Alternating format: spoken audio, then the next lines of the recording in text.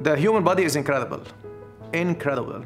And um, I know it for a lot of people who are not into medicine, they may feel like it's very weird if you transfer or take muscle from one part of the body and put it in the other part of the body.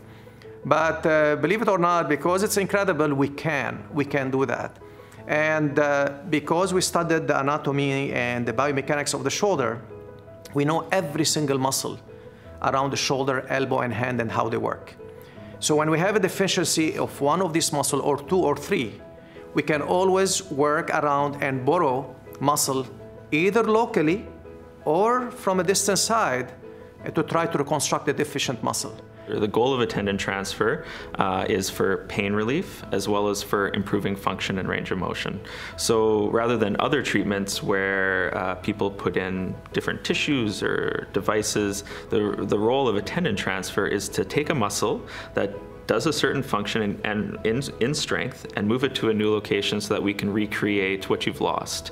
Particularly that usually happens around a rotator cuff, but it can also happen around the deltoid muscle, which is the powerhouse of your arm and lets you lift your arm. It can also be around the shoulder blade for people who have had nerve injuries and who then now have their shoulder blade moving incorrectly. So the whole goal of a tendon transfer is reconstruction, functional recovery. And our hope is to try to bring life to an arm that's essentially almost gone or dead. And this is the whole purpose of the tendon transfer surgery and how we do it. There are a lot of type of it. It could be done for the shoulder, elbow, and hand, and it has really great result for the right patient, for the right indication.